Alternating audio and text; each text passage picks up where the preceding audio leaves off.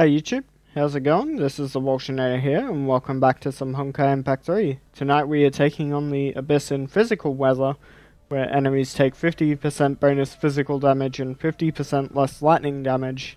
And our boss for this time is Otto Apocalypse. Uh, back after a long time of not being in, and 459D, so... Oof, quite difficult indeed.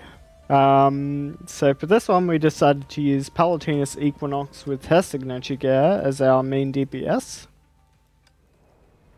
Um, Herrscher of Sentience with Cosmic Duality and Shattered Swords full set as our main physical support. And Carole as our shield breaker with Kissy Pillow and Paga TM Suzanne B. Uh, for our ELF, we went with Dab Dudu. Gotta love Dab Dudu. And for our Divine Key boss, we have physical and total damage, as well as the extra SP on basic charge and basic combo attack. Alright, everything's all set up, so let's get into the run and see how we do.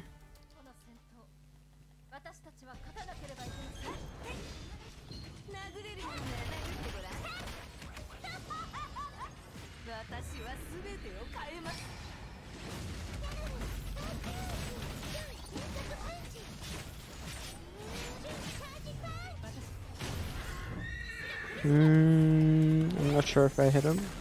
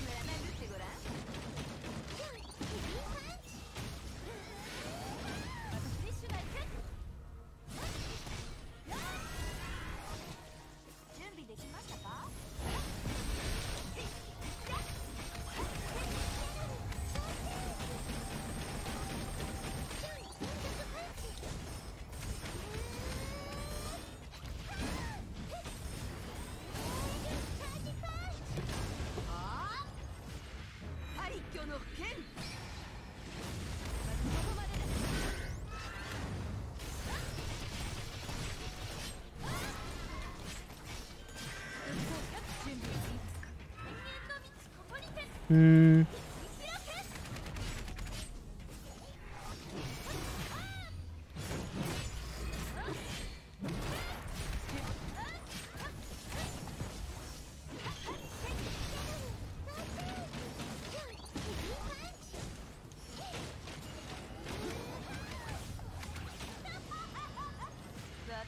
Okay.